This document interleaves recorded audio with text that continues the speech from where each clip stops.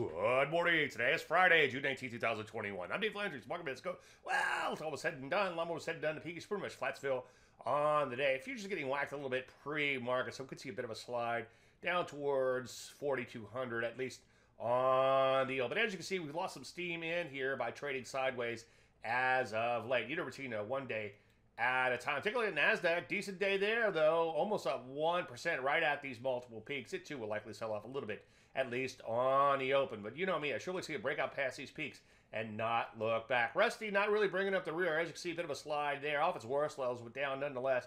It, too, has to get through a couple little peaks in here. As you can see, metals will wind up getting implode in here. Throw the bow ties in, and you can see we could get a bow tie down there fairly soon. Some other areas in here also losing steam, like the banks, as you can see, selling off fairly hard yesterday. Insurance getting whacked, and quite a few other areas losing some steam, such as the transports.